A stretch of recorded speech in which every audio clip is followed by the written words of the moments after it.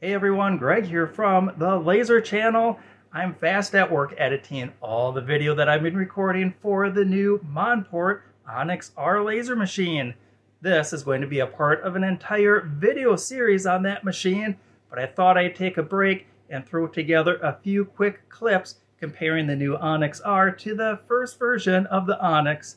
So sit back, relax, and enjoy this sneak peek of the new Onyx R machine. When I talk about the comparison between the updated Onyx and the older version of the Onyx, this is a completely brand new machine. While it has the same black color to it and a similar shape to the machine, everything else about it is completely different.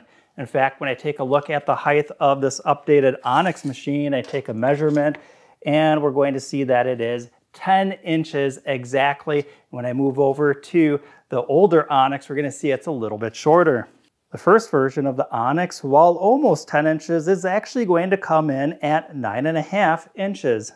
This older version is also going to be a little less wide. This is going to come in at uh, 38 and 5 sixteenths. When I come back over to the updated Onyx, this is going to be 38 and 3A. So even the width is going to be different between the two machines.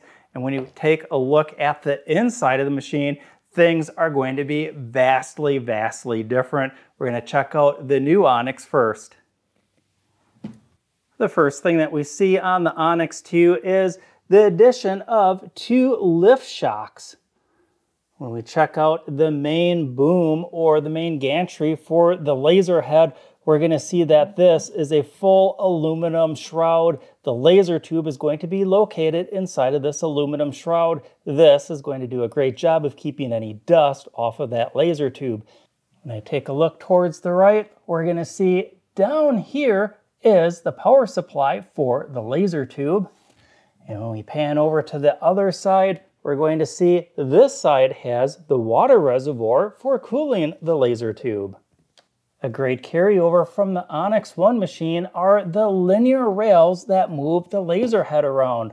We find those linear rails in three different spots.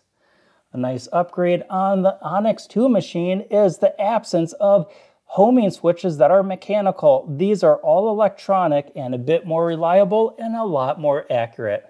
We're also going to check out the motor that shuttles the laser head back and forth this is quite a bit taller than the previous version of the machine. And located to the far back of the machine, once again, the exhaust fan, and to the side of that, we're going to find the connection port for the rotary accessory and the switch to activate that. When we pan to the other side, we're going to see another one of those electronic homing switches. Moving to the exterior, when we take a look at the front, we're going to see that there is once again a slot for a pass-through feature. This currently is plugged with a piece of silicone. If I back up just a little bit more, we're going to see that this is the tray for emptying out all the crumbs.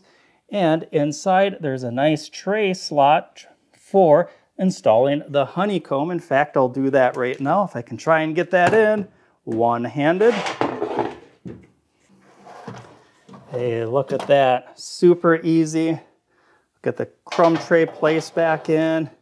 We're also going to see that there is a nice air gap between the bottom of the honeycomb and the crumb tray. It's very important for effective use of honeycomb to make sure there's a nice air gap underneath. Moving to the front corner of the machine, we're greeted by two buttons just like the previous version. This button, a little bit smaller, and it's trimmed with a nice silver finish. The e-stop below is mounted to the very front of the machine, and it is not recessed like the previous version. Let's check out the back side of the machine. On the back, we're greeted by the power plug port, the machine power on button, the 4-inch exhaust tube, and then all of our communication ports with the Ethernet, the computer port, and the camera port. Absent from the Onyx 2 machine was that little jumper that I believe was over in this area, and this was a safety feature. The machine would not run without that jumper in place, and personally, I don't think it was needed, so it's nice to see on the Onyx 2 that has been deleted.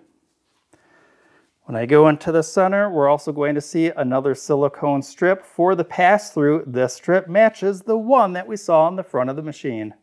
On the old version of the Onyx machine, we see that there's no gas lift struts. Instead, it had friction hinges in the back that worked well. I never had any problems with it. We're going to see that on the inside of the machine, the shroud over the laser tube doesn't quite cover all of the laser tube and it's not as solid. This is bent sheet metal that has a port on the back side to allow airflow past it a little bit. And this airflow also allowed smoke residue to get on the laser tube. And again, we don't like to see smoke residue on our laser tubes.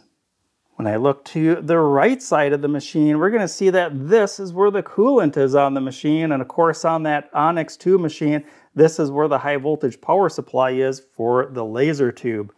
When I pan over to the other side of the machine, we're going to find that the machine controller is located underneath this panel, and here is the radiator for the coolant, which is a little bit odd that the reservoir is on this side, but the radiator is on that side. So the Onyx 2 is utilizing better real estate within the machine. As mentioned before, this machine does have a nice linear rail system that provides long life and precision over the course of using the machine. And I take a close-up look at this motor that drives or shuttles the laser head back and forth. It's a little bit smaller motor than what we see on the newer Onyx 2 machine. When we move to the front of the machine, once again, we see that we've got the pass-through slot and the crumb tray that comes out.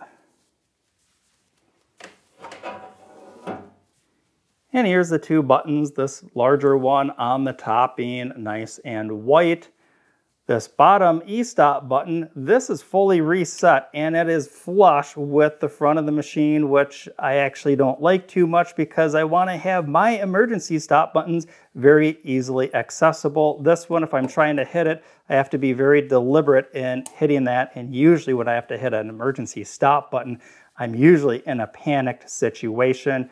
This is why I like the Onyx 2, where it is flush mounted to the very outside guard of the machine, making it very easy to access.